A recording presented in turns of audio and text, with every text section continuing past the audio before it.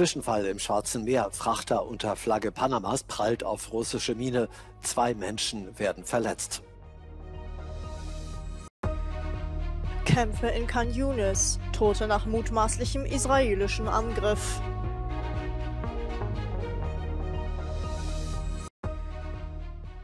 Kennzeichenstreit. Serbien lässt ab dem Jahreswechsel kosovarische Nummernschilder zu. Tod von Jacques Delors. Europäische Staatschefs zollten dem Baumeister Europas Tribut.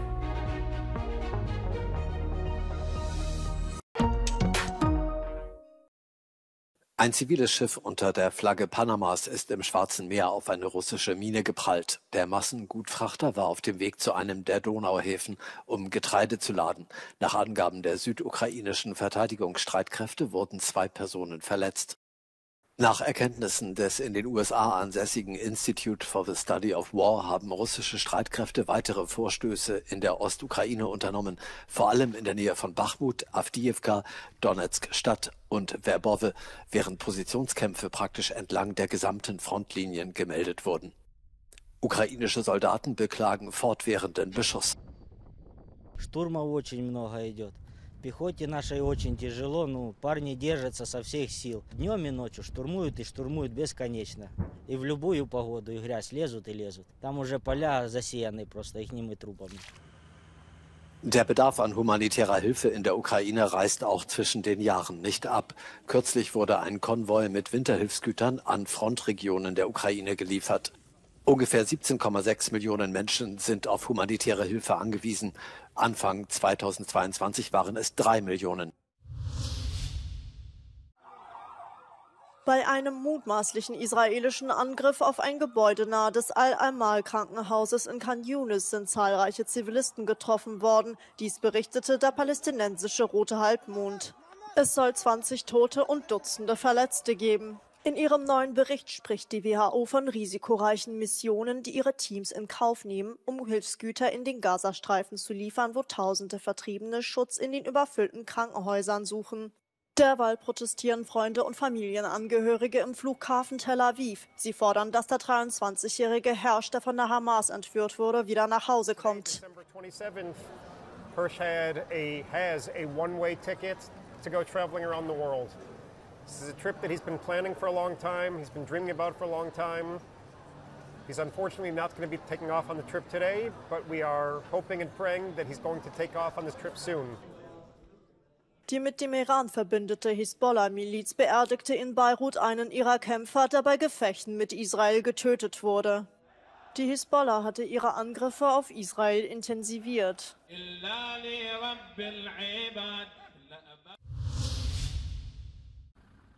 In Serbien dürfen Fahrzeuge mit kosovarischen Kennzeichen ab dem 1. Januar ohne Einschränkungen unterwegs sein. Das sieht eine Entscheidung der Regierung in Belgrad vor. Noch im Sommer hatte es Streit um die Nummernschilder gegeben. Es kam zu Krawallen und erhöhter Bereitschaft der serbischen Armee. Die EU vermittelte. Die Regierung des Kosovo begrüßt die Entscheidung aus Belgrad.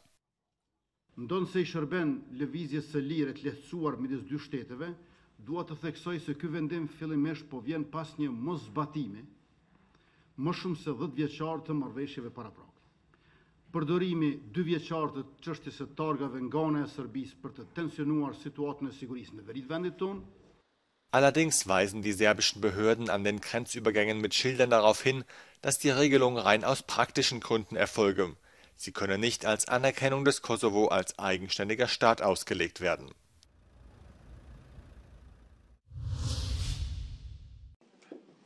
Die Staats- und Regierungschefs der Europäischen Union haben den verstorbenen Jacques Delors als Baumeister Europas gewürdigt. Der frühere Präsident der Europäischen Kommission starb im Alter von 98 Jahren in seinem Pariser Haus im Schlaf.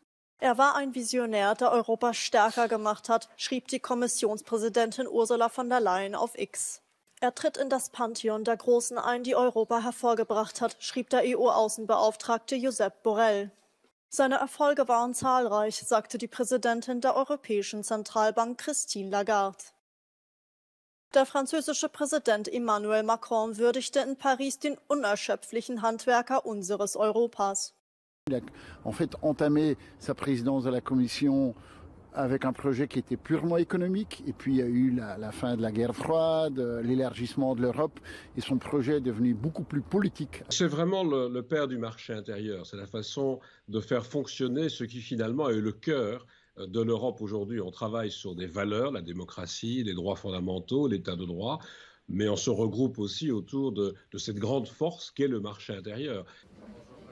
Der deutsche Bundeskanzler Olaf Scholz schrieb auf X, Jacques Delors hat sich wie kein anderer für die europäische Integration eingesetzt. Er wurde als Visionär zum Architekten der EU. Die neue polnische Regierung will die öffentlich-rechtlichen Medien formell auflösen, aber die Arbeitsplätze erhalten. Man werde die Unternehmen TVP, das polnische Radio und die Nachrichtenagentur PAP in Liquidation überführen, schrieb Kulturminister Bartu Omje Schenkiewicz auf der Plattform X. So könne das weitere Funktionieren dieser Medien gesichert werden. Die neue Regierung unter Donald Tusk wirft den öffentlich-rechtlichen vor, sie hätten in den vergangenen Jahren unter der nationalkonservativen PiS-Regierung Parteipropaganda verbreitet. Im Osten der Niederlande haben die hohen Wasserstände der verschiedenen Rheinarme zu Überschwemmungen geführt. Die Situation könnte sich noch verschlimmern, da der Höchststand erst für Donnerstag erwartet wird. Die Landwirte warnen, dass dieses schlechte Wetter der Kartoffel- und Zuckerrübenernte schaden könnte. Eine Mischung aus Stürmen, Regen und Schnee hat unterdessen Deutschland heimgesucht. Die bereits nassen Böden können nichts mehr aufnehmen. Die Lage in den überschwemmten Gebieten im Norden des Landes bleibt angespannt. In der Nähe von Bremen ist die Weser an manchen Stellen rund einen Kilometer breit. Einige Häuser und Höfe wurden überflutet. In Norwegen haben starke Schneefälle zu glatten Straßen geführt. Es kam zu zahlreichen Verkehrsunfällen mit Verletzten. Der Rat an alle, wenn möglich, zu Hause bleiben. Der Sturm Henk wird über die Nordsee nach Osten ziehen und am Sonntagmorgen Südskandinavien erreichen. Angel Rojas und seine Familie waren gezwungen, Nicaragua angesichts der Drohungen des Regimes von Daniel Ortega in Richtung Costa Rica zu verlassen. Sie gehören zu den ersten 280 Asylbewerbern, die im Rahmen eines Abkommens zwischen Spanien, Kanada und den Vereinigten Staaten umgesiedelt werden, um den Migrationsdruck an der Grenze zu Mexiko zu verringern. Ellos eh, no nos ofrecieron países, nos pusieron que había una propuesta para salir de Costa Rica con opción laboral, eh, pero nos, nos dijeron que había el país era quien nos escogía a nosotros.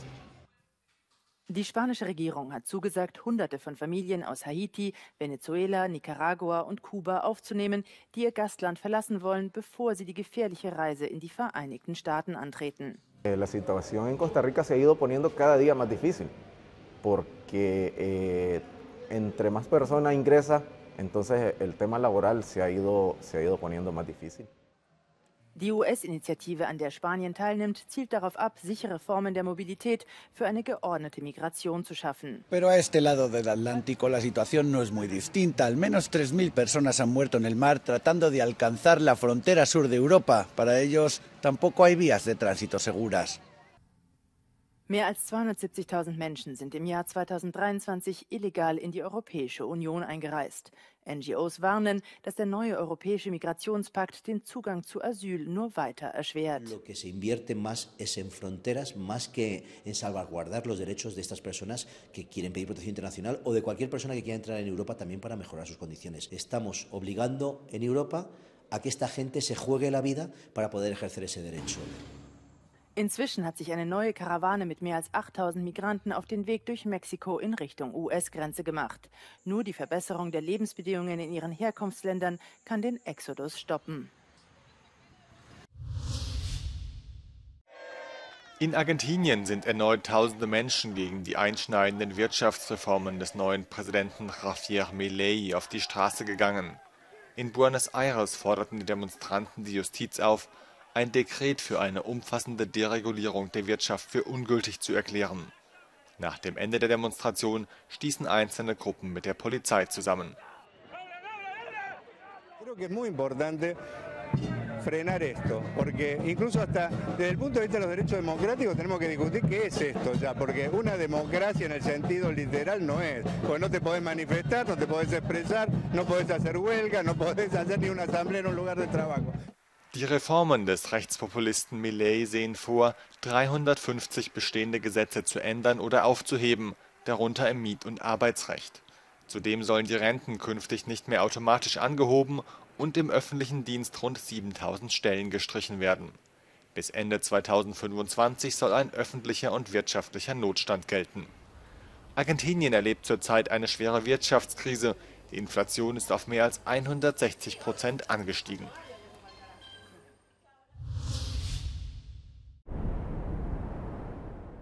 In Nigeria ist die Zahl der Todesopfer einer Reihe von Angriffen auf Dörfer im Bundesstaat Plateau offiziellen Angaben zufolge auf 198 gestiegen. Es besteht die Befürchtung, dass die Zahl der Todesopfer noch weiter steigen könnte, da einige Menschen weiterhin vermisst werden.